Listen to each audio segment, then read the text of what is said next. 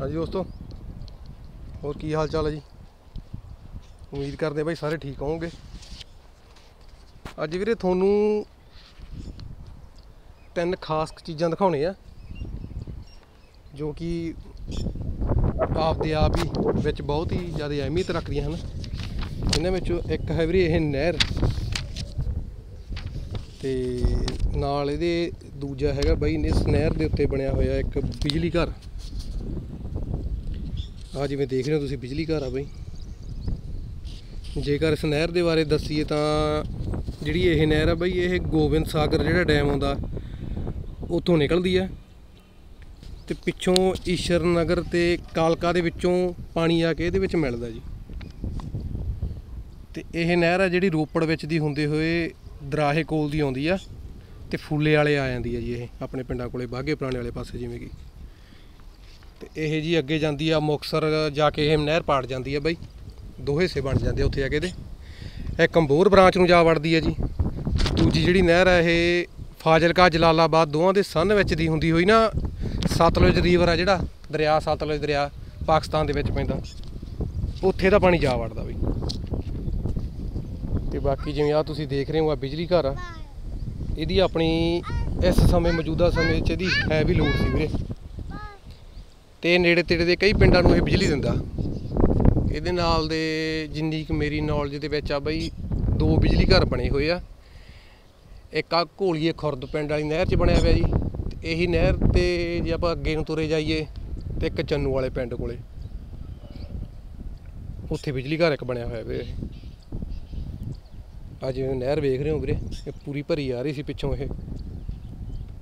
ਤੇ ਪਾਣੀ ਇਹ ਪਿਛਲਾ ਮੀਂਹਾਂ ਦਾ ਪਾਣੀ ਆ ਬਈ, ਪਹਾੜਾਂ ਦੇ ਵਿੱਚੋਂ ਆਇਆ ਹੋਇਆ।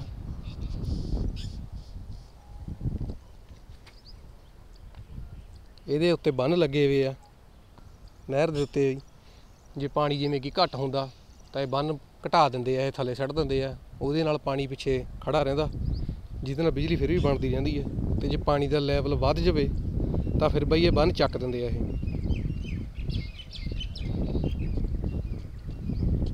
ਇਹਦੇ ਨਾਲ ਹੀ ਵੀਰੇ ਸੱਜੇ ਪਾਸੇ ਆ, ਪੁਰਾਣੇ ਬਣੇ ਹੋਏ ਘਰਾਟ ਬਈ। ਉਹ ਵੀ ਤੁਹਾਨੂੰ ਵੀਰੇ ਦਿਖਾਉਣੇ ਆ। ਆ ਬਿਜਲੀ ਘਰ ਦੇਖ ਲਓ ਤੁਸੀਂ। ਇਹ ਮੇਰੇ ਖਿਆਲ ਚ ਬਈ ਤਿੰਨ ਮੰਜ਼ਲਾ, ਤਿੰਨ, ਚਾਰ ਮੰਜ਼ਲਾ ਉੱਚਾ ਬਿਜਲੀ ਘਰ ਹੋਊਗਾ ਵੀਰੇ। ਜਨਰੇਟਰ ਵੱਡੇ ਵੱਡੇ ਲੱਗੇ ਹੋਏ ਆ ਇਹਦੇ ਵਿੱਚ। ਇੱਕ ਸਾਈਡ ਤੋਂ ਪਾਣੀ ਇਹਦੇ ਅੰਦਰ ਤੁਰਿਆ ਜਾਂਦਾ ਬਈ, ਤੇ ਜਿਹਦੇ ਨਾਲ ਉਹ ਜਨਰੇਟਰ ਘੁੰਮਦੇ ਆ। ਬਾਕੀ ਇਹ ਨਹਿਰ ਦੇ ਵਿੱਚੋਂ ਸੂਏ ਬਹੁਤ ਪਾੜਦੇ ਆ ਬਈ। ਜਿਹੜੇ ਕਿ ਖੇਤਾਂ ਨੂੰ ਪਾਣੀ ਪੂਣੀ ਦੇਣ ਦੇ ਕੰਮ ਆਉਂਦੇ ਆ। ਇਹਦੇ ਸੱਜੇ ਪਾਸੇ ਤੁਹਾਨੂੰ ਆ ਦਿਖਾਉਣੇ ਹੁਣ ਘਰਾਟ। ਆ ਘਰਾਟ ਆ ਵੀਰੇ ਇੱਥੇ। ਮਸ਼ੀਨਰੀ ਇੱਥੋਂ ਪੱਟੀ ਗਈ ਸੀਗੀ, ਚੱਕੀ ਵਗੈਰਾ ਜਿਵੇਂ ਕਿ। ਬਹੁਤ ਹੀ ਪੁਰਾਣੇ ਆ ਵੀਰੇ ਇਹ। ਤਕਰੀਬਨ ਪੁੱਛਿਆ ਸੀ ਇੱਥੇ ਜਿਹੜੇ ਨਹਿਰੀ ਵਿਭਾਗ ਵਾਲੇ ਬੰਦੇ ਰਹਿੰਦੇ ਆ, ਉਹਨਾਂ ਤੋਂ ਤੇ ਉਹ ਕਹਿੰਦੇ ਵੀ 150 ਤੋਂ ਬਈ 200 ਸਾਲ ਪੁਰਾਣੇ ਘਰਾਟ ਬਣੇ ਹੋਏ ਆ ਇਹ। ਤੇ ਇਹਨਾਂ ਦੀ ਜਿਹੜੀ ਇਮਾਰਤ ਆ ਬਈ, ਉਵੇਂ ਦੀ ਉਵੇਂ ਹੀ ਹਜੇ ਤੱਕ ਖੜੀ ਆ। ਨੇੜੇ ਤੇੜੇ ਦੇ ਜਿੰਨੇ ਪਿੰਡਾਂ ਵਾਲੇ ਆ, ਘੋਲੀਏ ਕਲਾਂ ਵਾਲੇ ਹੋ ਗਏ, ਕਾਲੇ ਕੇ ਪਿੰਡ ਹੋ ਗਿਆ, ਹੋਰ ਵੀ ਇਧਰ ਸਮਾਧ ਭਾਈ ਵਾਲੇ ਪਾਸੇ ਹੋ ਗਏ ਜਿੰਨੇ ਪਿੰਡ, ਬਾਗੇ ਪੁਰਾਣੇ ਦੇ ਵਿੱਚ ਜਿੰਨੇ ਪਿੰਡ ਪੈਂਦੇ ਆ, ਇਹ ਦੋ ਘਰਾਟ ਸੀ ਬਾਈ। ਇੱਕ ਆ ਹੋ ਗਏ ਤੇ ਇੱਕ ਸੀ ਚੰਨੂਵਾਲ ਪਿੰਡ 'ਚ। ਚੰਨੂਵਾਲ ਪਿੰਡ ਕੋਲੇ ਨਹਿਰ ਜਿਹੜੀ ਪੈਂਦੀ ਆ, ਉਹ ਘਰਾਟ ਬਾਈ ਡਿੱਗ ਚੁੱਕੇ ਆ। ਤੇ ਇਹਦੀ ਬਿਲਡਿੰਗ ਉਵੇਂ ਦੀ ਉਵੇਂ ਹੀ ਖੜੀ ਆ। ਚੱਕੀ ਵਗੈਰਾ ਇਹਦੇ ਵਿੱਚ ਹੈ ਨਹੀਂਗੀ ਉਵੇਂ ਤੁਸੀਂ ਪੁਰਾਣੇ ਸਮੇਂ ਦੇ ਵਿੱਚ ਜਿਵੇਂ ਕਿ ਦੇਖ ਸਕਦੇ ਹੋ ਆ ਡਾਟਾਂ ਵਾਲੀ ਛੱਤ ਪਾਈ ਵੀ ਆ। ਆ ਡਿਜ਼ਾਈਨ ਜਿਵੇਂ ਅੱਜ ਕੱਲ ਮੋਲਡਿੰਗ ਪਾਉਂਦੇ ਆ ਵੇਲੋ ਉਹਨਾਂ ਨੇ ਅੱਜ ਤੋਂ 200 ਸਾਲ ਪਹਿਲਾਂ ਹੀ ਮੋਲਡਿੰਗ ਲਾਤੀ ਸੀਗੀ ਛੱਤ ਦੇ ਉੱਤੇ।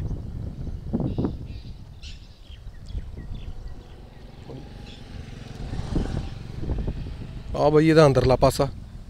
ਹਨੇਰਾ ਜ਼ਿਆਦਾ ਸੀਗਾ ਤੇ ਨਾਲ ਇੱਕ ਫੋਟੋ ਵੀ ਬਈ ਲਾ ਦਿਆਂਗੇ। ਇੱਥੇ ਚੱਕੀ ਲੱਗੀ ਹੁੰਦੀ ਸੀ ਆ ਫੱਟਿਆਂ ਦੇ ਥੱਲੋਂ ਦੀ ਪਾਣੀ ਲੰਘਦਾ ਸੀ। ਆਹ ਫੱਟਿਆਂ ਦੇ ਤੇ ਜਿਹਦੇ ਨਾਲ ਉਹ ਚੱਕੀ ਚੱਲਦੀ ਸੀਗੀ। ਆਹ ਡਾਟਾ ਵਾਲੀ ਛੱਤ ਆ ਬਈ।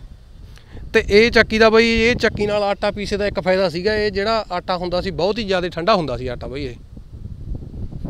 ਰੋਟੀਆਂ ਮਤਲਬ ਬਹੁਤ ਸਾਫ਼ ਚਿੱਟੀਆਂ ਬਣਦੀਆਂ ਹੁੰਦੀਆਂ ਸੀ ਇਹਦੇ ਆਟੇ ਨਾਲ।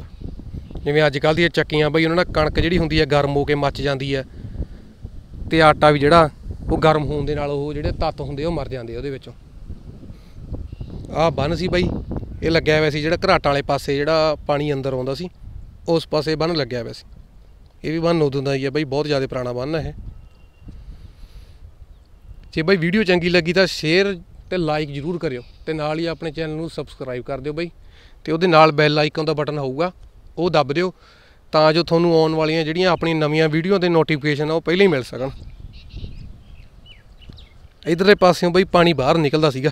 ਜਿਹੜੇ ਉਹ ਫੱਟੇ ਤੁਹਾਨੂੰ ਪਹਿਲਾਂ ਦਿਖਾਏ ਸੀ, ਉਹਦੇ ਥੱਲੋਂ ਦੀ ਪਾਣੀ ਆਉਂਦਾ ਸੀ ਤੇ ਇਧਰੋਂ ਬਾਹਰ ਨਿਕਲ ਕੇ ਪਾਣੀ ਨਹਿਰ ਦੇ ਵਿੱਚ ਹੀ ਜਾ ਕੇ ਮਿਲ ਜਾਂਦਾ ਸੀਗਾ ਜੀ। ਇਧਰਲੇ ਪਾਸੇ ਆ ਜਿੱਥੇ ਰੌਸ਼ਨਦਾਨ ਆ ਇਹਦੇ ਅੰਦਰ ਚੱਕੀ ਹੁੰਦੀ ਸੀ ਲੱਗੀ ਵੀ।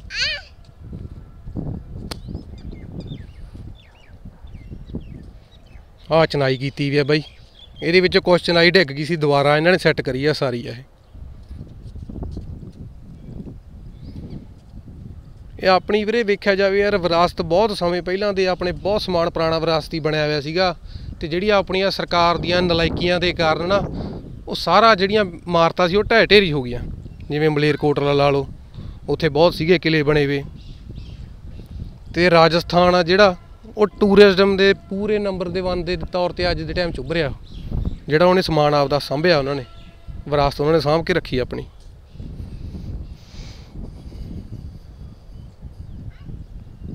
ਇਹ ਦਰਖਤ ਵੀ ਵੀਰੇ ਉਨਾ ਹੀ ਪੁਰਾਣਾ ਇਹ।